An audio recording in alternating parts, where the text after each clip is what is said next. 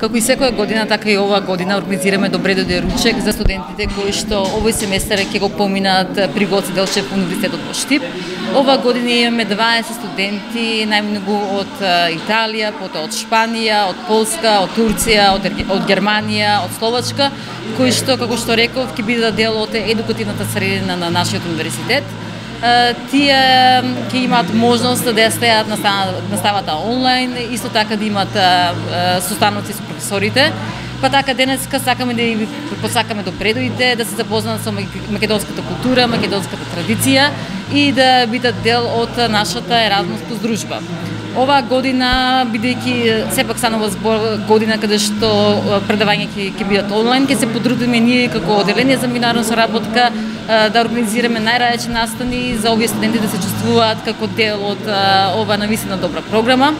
Најмногу од нив има на факултетот за медицински науки, како и секоја година, потоа имаме студенти на машинскиот факултет, на факултетот за информатика, на филолошки факултет, факултетот за образовни науки и по некој студент на факултетот за правни науки и економскиот факултет што е со нашите студенти, дали заминаа веќе дел и колку веќе замина преку Еразмус програмата на Европски универзитет? Да, значи веќе постапката е во тек, што значи најголем дел од студентите се веќе заминати.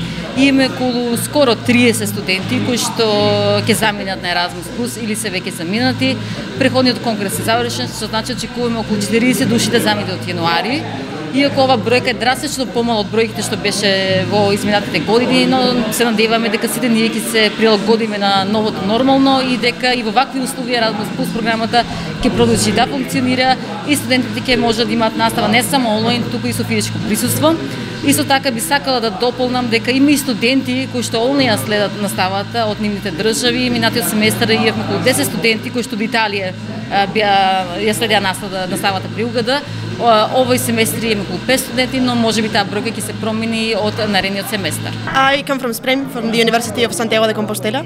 And uh, how you choose, choose uh, University Goce Delcev to stay here? Um, I just thought Macedonia was a good uh, option for me because it's so different from where I'm from, and this is the university that sort of offered me the best course for mathematics, which is what I'm studying.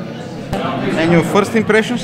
Um, very different, very very different from where I'm from. Very interesting to see a different side of, of Europe and a different side of people living here. It's completely different.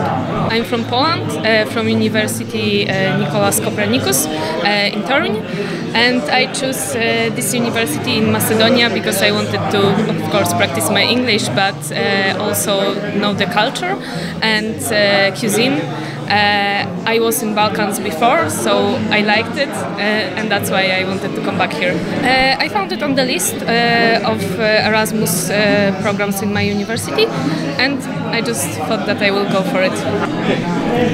I'm Paul Spieth. I'm from Germany. I'm 22 years old and I'm studying law. We have like uh, several partner universities, and one of our partner universities is STIP, and I've never been to the Balkan region before and I was really interested to study law um, in a country outside the European Union to get another focus. I come from Pisa, the city of the Leaning Tower and uh, we chose to come in Macedonia because uh, many friends of ours from our faculty uh, told us there's uh, the university here was a very good experience um, uh, and it has showed to be so because people are nice uh, life is fun and also uh, for us is quite cheap, so we enjoy it very much. And uh, we expect to have lots of great experiences both on the theoretical and practical level. So uh, we really look forward to completing our Erasmus here. I am based in Turkey, the east part of Turkey, and I'm come here because the between Turkey and Macedonia is uh, culture is really similar to each other. That's why I choose here, not because of cultural shock or something like that. So, but I like it. I have the first glimpse on the country, and I feel very glee about the country. So I think my expectation is higher, but uh, Macedonia is provides every my expectation.